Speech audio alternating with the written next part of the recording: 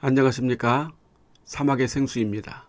그리스도의 모형 요셉 이야기 꿈꾸는 자 요셉은 17세 청소년으로 그의 형들과 함께 양을 치고 있었는데 형들의 잘못을 아버지에게 고자질했습니다. Joseph brought unto his father their evil report. 악한 보고, evil report를 했다고 했는데 요셉의 고자질이 나쁜 보고였다는 것이 아니라 형들의 나쁜 짓을 보고했다는 뜻입니다. 17세의 청소년인 요셉이 왜 아버지에게 형들의 잘못을 밀고 했을까요? 형들의 잘못을 요셉이 아버지에게 고했다는 것은 형들 몰래 비밀리에 아버지에게 밀고 했다는 뜻입니다. 야곱은 요셉을 첩의 아들들의 목장으로 보냈을까요? 그래서 첩의 아들들이 일을 잘하고 있는지 요셉에게 보고하도록 비밀이 지시했을까요? 그럴 가능성이 큽니다. 왜냐하면 야곱은 두 아내와 두 첩들 간의 알력과 다툼이 자연스럽게 그녀들의 소생들에게 영향력을 줄 수 있다는 것을 알았고 심심찮게 배다른 아들들 간의 갈등이 벌어졌을 것입니다. 만약 배다른 아들들이 싸우면 에미들은 당연히 자기가 낳은 아들들의 편을 들 것이 뻔하기 때문입니다. 야곱에게 가장 큰 걱정은 배다른 형제들이 어떻게 하면 화목하게 서로 우위 있게 사느냐는 것이었을 것입니다. 야곱도 역시 하나밖에 없는 쌍둥이 형 에서와 화목하지 못하고 평생을 갈등 속에 살고 있었기에 자식들이 서로 의지하며 형제를 가지고 사는 것이 소원이었을 것입니다. 그래서 야곱은 가장 믿을 만한 아들인 요셉을 아들들의 작업 현장에 보내서 잘 지내는지 혹시 누가 잘못하고 있지 않은지 보고 비밀리에 알려달라고 말했을 것입니다. 아마도 요셉은 아버지 야곱의 마음을 가장 흡족하게 해주는 명석하고 착하고 정직하며 장래성이 보이는 아들이었을 것입니다. 이것이 편애라면 편애인데 야곱의 마음이 요셉에게 저절로 가는 것은 어쩔 수 없는 야곱의 마음이었습니다. 야곱은 라헬을 너무나 사랑했고 라헬에게서 낳은 첫 아들이기 때문입니다. 물론 라헬이 낳은 두 번째 아들 베냐민이 있기는 하지만 베냐민은 야곱에게 라헬에 대한 슬픔이었을 것입니다. 라헬이 베냐민을 낳다가 난산 중에 죽었기 때문입니다.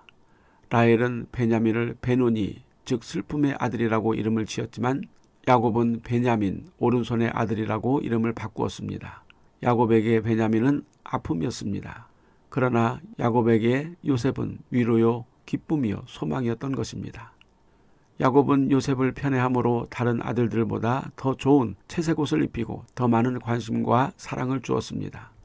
야곱의 편애가 아들들에게 눈에 확 띄었기 때문에 요셉은 형들에게 오히려 미움과 시기 질투의 대상이 되었습니다. 그래서 요셉이 형들의 목장에 와서 함께 지냈지만 형들은 요셉을 보면 쉬쉬하고 말을 하지 않았으며 요셉을 따돌림하게 되었습니다. 야곱은 과연 무조건적으로 요셉을 편애했을까요? 그냥 안쓰럽고 안 돼 보여서 무조건적 사랑을 베풀었을까요? 실상 요셉은 꿈꾸는 아이였습니다. 야곱이 요셉을 특별하게 본 이유 중에 가장 두드러진 이유는 요셉에게는 꿈이 있었다는 것입니다. 요셉은 형들보다 아버지와 더 친근하게 지냈으므로 분명히 많은 이야기들을 야곱에게 말했을 것입니다. 실상 야곱이 가장 편하게 대화를 하고 특히 하나님의 장자권에 대해서 속마음을 나눌 수 있는 아들은 요셉이었다고 봅니다. 야곱은 한이 많은 사람이었습니다. 쌍둥이 형에게 장자권을 빼앗았지만 20년 동안 라반의 집에서 종노릇하며 원치 않게 라반의 계략으로 4명의 여자들을 통해 배다른 아들들을 낳아 그야말로 가지 많은 나무에 바람 잘 날이 없다는 속담처럼 야곱의 가족사는 매우 우여곡절이 많았습니다. 특히 딸 디나의 강간 사건, 레위와 시몬의 세겜 학살 사건, 유다의 일탈과 루벤의 서모 근친 상간, 라헬의 죽음 등으로 야곱의 노년은 매우 불안하고 소망이 보이지 않는 막막한 삶이었을 것입니다. 그러던 중에 라헬이 낳은 매우 총명하고 눈이 맑고 지혜와 꿈이 많은 요셉에 야곱은 모든 희망을 걸었던 것입니다. 요셉이 애굽으로 팔려가기 전까지 이삭이 살아 있었다는 고증이 있습니다.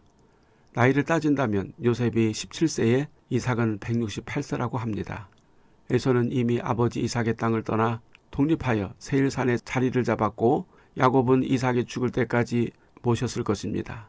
요셉은 유난히 아버지를 잘 따르고 순종적인 아이였기 때문에 늙어서 앞을 볼 수 없고 거동이 불편한 할아버지 이삭 곁에서 시간을 많이 보냈을 것입니다. 물론 성경에 나오지는 않았지만 이삭은 할아버지를 잘 따르고 수종을 잘 드는 요셉에게 아브라함이 하나님에게 순종했던 이야기, 자기 자신의 삶에 있어서 하나님 이야기, 하나님의 비전과 꿈과 소망에 대한 이야기를 해주었을 것입니다. 요셉은 할아버지 이삭을 통해서 하나님에 대해서 하나님의 나라의 비전과 아버지 야곱이 이루어야 할 장자권에 대한 꿈을 전해 들었고 조상들의 꿈을 이루어야 하겠다는 마음으로 부풀었을 것입니다. 그래서 야곱은 요셉을 다른 아들들보다 매우 특별하게 보았고 요셉이 장자권의 꿈을 성취해 줄 수 있을 것이라고 기대했을 것입니다. 이러한 사실을 잘 알지 못하는 요셉의 형들에게 요셉은 그저 얄미운 고자질쟁이, 미운 놈, 아버지의 사랑을 혼자 독차지하는 시기 질투의 대상으로 여겼을 것입니다. 요셉은 꿈을 꾸고서 이 내용을 형들에게 이야기했습니다. 우리가 밭에서 곡식단을 묶더니 내 단은 일어서고 당신들의 단은 내 단을 둘러서서 절하더이다. 요셉의 꿈야기로 보면 요셉이 형들을 제치고 가문의 족장이 되려고 한다고 생각할 수 있습니다. 아버지 야곱의 사랑을 독차지하더니 보이는 게 없이 교만하고 방자하다고 여기고 형들은 요셉을 더욱더 미워하게 된 것입니다. 그러나 실상 요셉의 대화를 보면 형들이 생각하는 것처럼 교만하거나 물에 방자한 것은 아닙니다. 요셉이 꿈 이야기를 형들에게 말할 때 매우 조심스럽게 그리고 겸손하게 말을 했던 것을 알 수 있습니다. 청하건대 내가 꾼 꿈을 들으시오. Here I pray you this dream which I have dreamed. 청하건대 들으시오. Please listen. 요셉은 자기가 꾼 꿈이 너무 이상하고 묘해서 잊어버리기 전에 형들에게 말을 했는데 매우 간절하고 겸손하게 형들에게 고한 것을 볼 수 있습니다. 요셉은 또다시 꿈을 꾸었는데 해와 달과 열한 별이 내게 절하더이다 라고 형들에게 말을 했습니다. 이 꿈을 다시 아버지 야곱과 형제들에게 재차 말을 하자 네가 꾼 꿈이 무엇이냐 나와 내 어머니와 내 형들이 참으로 가서 땅에 엎드려 내게 절하겠느냐라고 말했습니다. 그의 형들은 시기하되 그의 아버지는 그 말을 간직해 두었더라. 요셉의 빈번한 꿈의 도발은 형들을 매우 신경질 나게 했습니다. 시기하되 jealous, envious라는 말은 형들이 요셉을 매우 부러워하면서 시샘했다는 뜻입니다. 어쩌면 요셉의 형들도 요셉의 생각이나 말이나 비전에 대해서 매우 부러워하고 두려워했을 것이며 그로 인해 또한 미워했을 것입니다. 요셉의 형들은 단지 요셉을 미워한 것이 아니라 요셉의 정직함이나 성실함, 꿈과 이상에 대해 매우 두려움을 느끼면서 동시에 시기 질투하며 미워했는데 없애버리고 싶을 정도였습니다.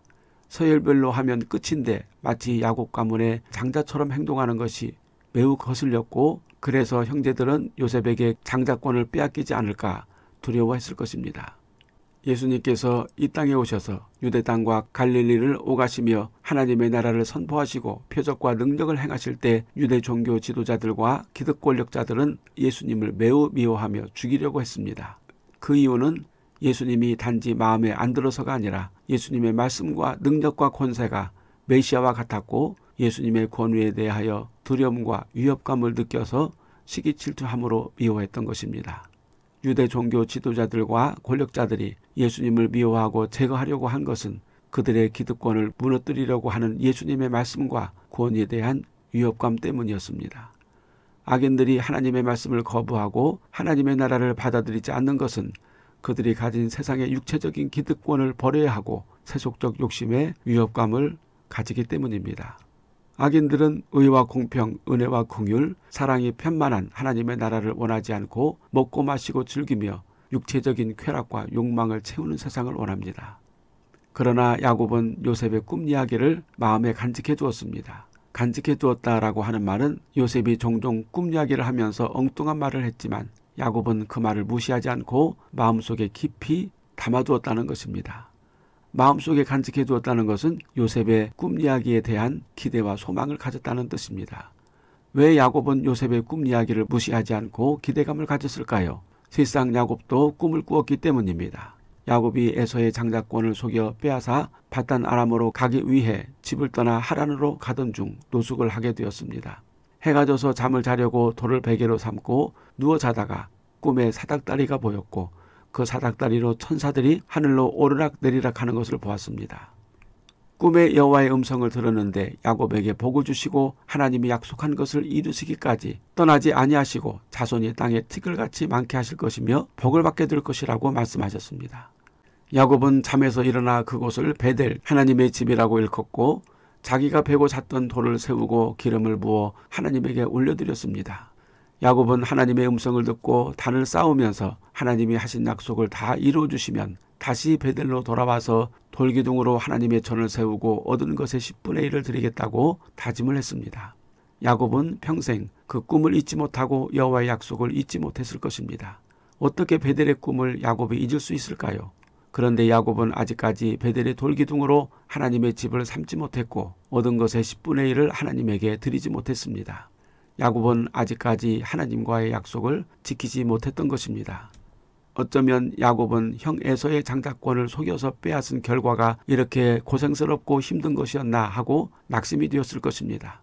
장자권을 얻은 결과가 겨우 이런 것이라면 그렇게 잔꾀를 부리며 바득바득 장자권을 차지하려고 애를 쓸 필요가 없었을 것이라고 생각했을 것입니다. 에서를 보십시오. 장자권을 빼앗기고도 얼마나 남자답게 통 크고 대범하게 잘 살고 있습니까? 장자권에 연연하지 않는 에서는 세일산 넓은 곳에 가서 자리를 잡고 여생을 자기가 하고 싶은 사냥과 여자들과 인생을 즐기면서 재미있게 살지 않았습니까? 그런데 야곱은 세월이 가면 갈수록 산 넘어 산이고 고생과 수고와 험한 세월만 남아있는 것 같아서 장자권을 얻으려고 그렇게 수고하고 애썼던 일들이 다 허망하게 느껴졌던 것입니다. 우리가 예수 믿고 하나님을 섬기면 바라던 신세계가 열리고 원하는 것을 다 얻고 인생을 더욱더 활기차고 즐겁게 호탕하게 살 수 있을 것이라고 얘기했는데 예수 믿고 하나님의 말씀대로 살려 하니 산 넘어 산이요 강 건너 강이고 하루하루가 가시밭길이며 온갖 세상의 일이 거치는 장애물처럼 되어져서 고난과 역경이 많으니 차라리 예수 안 믿었으면 마음대로 활개치며 살다가 죽을 걸 하고 후회하는 이들도 있을 것입니다. 그런데 야곱은 그러던 중에 요셉에게서 자신이 그동안 잊고 있었던 꿈과 소망을 보게 된 것입니다. 그래서 야곱은 자기가 이루지 못한 장자권의 꿈과 소망을 요셉이 이루어 줄 수 있을 것이라는 기대를 가지게 되었습니다. 야곱을 매우 흥분케 하고 고무시킨 것은 두 번에 걸쳐 요셉이 꾼 꿈이었습니다. 요셉의 꿈 이야기에 야곱은 내 아버지와 어머니와 형들이 내 앞에서 절을 한단 말이냐 하고 난색을 표했지만 속으로는 이놈 봐라 내가 젊었을 때 품었던 꿈을 요셉 네가 꾸고 있구나 하고 속으로는 대견해 했을 것입니다. 우리가 세상의 욕망을 가지고 잡히지 않는 무지개를 쫓아가다가 지쳐서 낙심하고 풀이 죽어 있을 때 주님은 우리에게 하늘의 꿈을 가지고 찾아오셨습니다. 우리가 처음부터 꿈이 없는 사람들은 아니었습니다. 어렸을 때 젊었을 때 많은 꿈을 꾸었고 꿈이 많았습니다. 훌륭한 사람이 되겠다는 꿈, 돈을 많이 벌어서 좋은 일을 하겠다는 꿈, 공부를 많이 해서 훌륭한 인격자가 되겠다는 꿈, 많은 사람들을 이롭게 하겠다는 홍익인간의 꿈을 꾸었습니다. 그러나 세파에 부딪히고 인생의 여정을 살아오면서 우리 안에 품었던 꿈들은 다 부서지고 인생에 대한 회한과 피로감만 남게 됩니다. 아무리 아니라고 소리치고 부정해도 현실이 그렇습니다. 세상에 눈에 보이는 것을 쫓아가는 것은 꿈이 아니라 신기루를 따라 사막을 걷는 것과 같기 때문입니다. 우리의 진정한 꿈과 소망은 비로소 예수님을 만나고 예수님의 꿈과 소망인 영원한 하나님의 나라를 볼 때 다시 살아나고 소생하며 더욱더 확실해지는 것입니다. 마치 야곱이 쓰러져가는 장자의 꿈속에서 요셉의 꿈 이야기를 듣고 다시금 장자의 꿈을 꾸며 기대하고 소망하는 것처럼 우리들도 세상적인 꿈을 꾸다가 실망 낙심할 때 하나님의 나라의 꿈과 비전을 예수님에게서 듣고 우리 영혼은 소생하며 잃어버렸던 꿈이 다시 되살아나고 활력을 얻게 됩니다. 우리 주님은 우리에게 오셔서 하나님의 나라의 복음을 말씀해 주시고 죄와 사망에서 구원받고 영원한 기쁨과 소망이 넘치는 천국의 꿈을 꾸게 하셨습니다.